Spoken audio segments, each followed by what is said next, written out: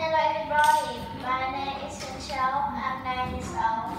I'm from Inca, here to be at CEC. Today I'm going to talk to you about I, I live from a special day. The special day is mid-afternoon.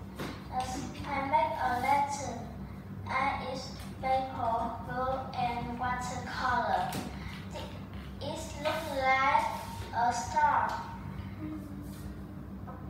If I very like it, to give, to give my gift from sister day, I make it from that. Thank you for watching.